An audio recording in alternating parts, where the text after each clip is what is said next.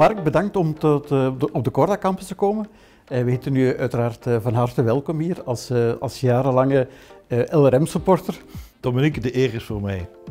En ik ben heel blij om hier te mogen zijn. Ja, we zijn in, of LRM is in 2007 ingestapt in, in jullie bedrijf. Toen hadden jullie heel grote groeiplannen, belangrijke investeringen, ook belangrijke focus op de werkstelling en op vlak van uh, internationalisering. Hoe is eigenlijk dat, dat hele verhaal, hoe is dat uh, verlopen? Het is zo dat eigenlijk uh, wij in het jaar 2006, 2007 merkten dat de, de lattenbodem, dat die eigenlijk aan belang aan het verliezen was ten gunste van de bokspring.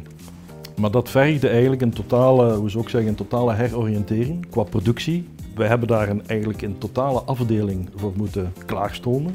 En onder andere dankzij uw steun hebben we dat kunnen waarmaken. Ja, wat wij belangrijk vinden in zo'n dossier is dat we naast onze geldelijke inbreng ook een belangrijke inhoudelijke inbreng kunnen doen. Of wij noemen onze, onze smart money. Uh, maar inderdaad, er is een enorme toegevoegde waarde buiten het financiële. Men heeft hier een heel multidisciplinaire uh, ervaring kennis. En uh, wij zijn soms misschien wat bedrijfsblind. Dus is dat uh, dikwijls heel welkom dat vanuit andere sectoren, de ervaring vanuit andere sectoren, dat dat wordt meegebracht bij ons naar de raad van bestuur en daar gedeeld wordt met ons en, en, een beetje dient als klankbord. Dus zeer interessant. Ja. Wat ik ook nog eventjes wilde aanhalen is het eh, waar LRM wat anders is dan andere uh, investeerders, is het lange termijn karakter. We hebben het gehad over 2000, 2007 als startbasis, we zijn nu 2020, we zijn nog altijd aan boord. Uh, dat is ook een van de grote voordelen, ehm, dat inderdaad op lange termijn gedacht wordt.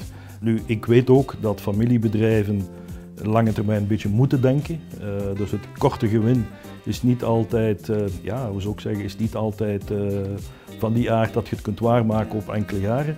Dus dat guneffect wat LRM zo tentoonspreidt, dat dat ook iets is wat, wat, wat enorm geapprecieerd wordt door ons.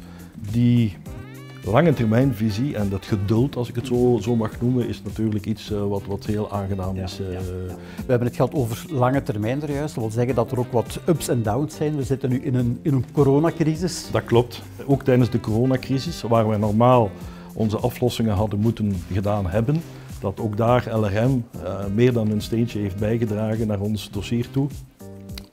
door ons in feite daar wat uh, te stretchen naar terugbetalingen toe. Dus zowel bankiers als LRM, andere stakeholders uiteraard ook. Internationalisering is, is belangrijk. Ja. Um, wat was daar jullie strategie juist? Een beetje zeg maar Europa afdekken. Met uiteraard onze thuismarkt België, maar ook uh, Nederland waar wij enorm, enorm hoog en goed scoren. Frankrijk uiteraard en Duitsland. Dat zijn zowat de ja. belangrijkste markten. Ja, zijn er nog andere innovaties die, die op jullie afkomen in de sector? Wij hebben dus nu een machine gekocht, twee jaar geleden, uniek in de wereld, die uh, ervoor zorgt dus dat wij veertjes kunnen maken zonder lijm. Maakt dat ook een matras meer recycleerbaar daardoor? Dat maakt een matras 100% recycleerbaar. Zijn er andere uitdagingen waar je, waar je van wakker ligt voor, uh, voor de komende jaren? Ja, enkele jaren geleden uh, zal ik daarvan wakker gelegen hebben. Ondertussen is het zo dat uh, ik het geluk heb dat mijn, mijn, kinderen en ondertussen ook mijn schoonzoon zijn aangetreden in het bedrijf.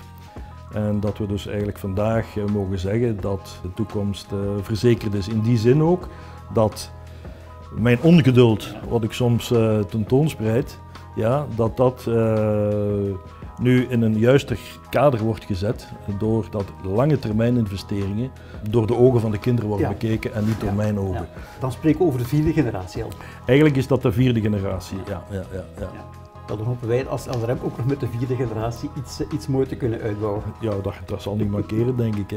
Ja, ja, Van de top hier, van, van tot, tot uh, dossierbeheer, ik moet zeggen, dat is... Uh, dat is zeer aangenaam. Ja, ja, dat maakt denk ik LRM ook, ook uniek. Het is zowel het, het, het lange termijn karakter, het, het, karakter van de geduldige investeerder als, ja, we zijn Limburgers voor Limburgers. Ik denk dat daar een belangrijke ja, maar dat is, dat is, proef is dat we niet mogen onderschatten. Mark, dan rest er mij om u te bedanken. U voor het, bedankt voor, voor de ontvangst. En de, en de input. Bedankt. En uh, laten we hopen dat we dit binnen x jaar nog eens kunnen herdoen. Voilà. Dank u wel.